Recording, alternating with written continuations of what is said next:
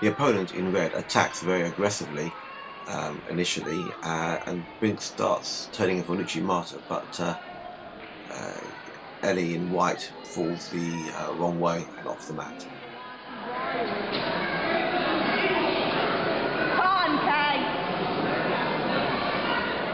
Ellie now begins to get take charge, and upon uh, another attack by Red, manages to go and get a hold down on, but only for a couple of seconds.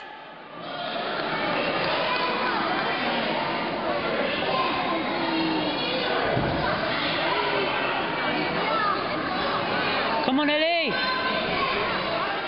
Red continues to appear to be doing all the work, um, but whilst these are all certainly attacks, they're not uh, very solid ones.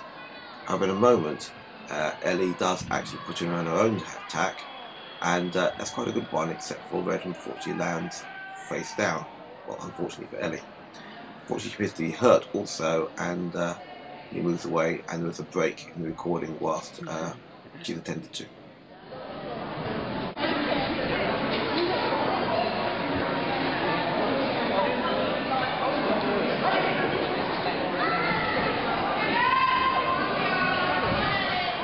Red is clearly slowing down here, and White is taking more charge.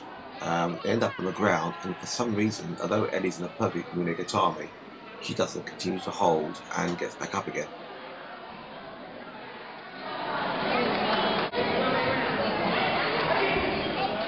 Attacks again with uh, Uchimata, but Ellie manages to convert it into her own Kisatagari and brings her opponent down quite clearly on the back. Whether that was scored at Yuko or I'm not clear yet. Uh, but the opponent is clearly in a good hold down, and his legs are clearly on the mat, whether they are close to the edge, and she can keep her there. This will finish.